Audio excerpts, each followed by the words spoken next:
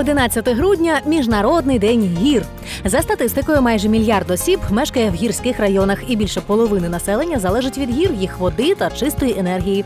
Однак щорічно гори піддаються загрозливим змінам клімату, деградації ґрунтів, експлуатації та стихійним лихам, що можуть мати руйнівні наслідки для решти світу. У цей день громадськість акцентує увагу на важливості екологічної стабільності та заходах, які посилюють стійкість гірських народів.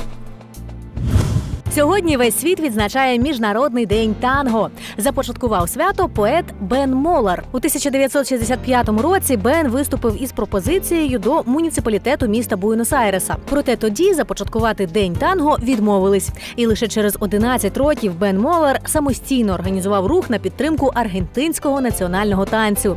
Подія виявилась доволі успішною та ознаменувалася фестивалем на стадіоні Луна Парк.